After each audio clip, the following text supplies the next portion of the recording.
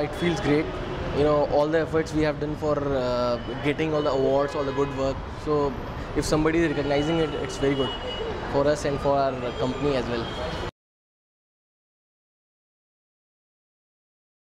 I can't comment on industry, but yeah, when it comes to seniors, like uh, if you know Ashish Chakravarti, Mayur Hola, these are the people that you know they, they welcome every type of ideas. So although there are some briefs that you have to uh, you know think of certain things for a certain TG, but when it comes to ideas, yeah, you can throw anything. So whatever they like, they can they can uh, you know make it. They can they can take it to another level. So that's a good thing.